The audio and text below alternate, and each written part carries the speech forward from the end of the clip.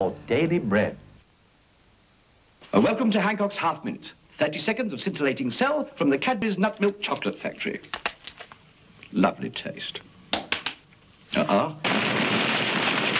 It's just great hazelnut. Whopping great hazelnut. It goes so well with creamy dairy milk chocolate. Hazelnut.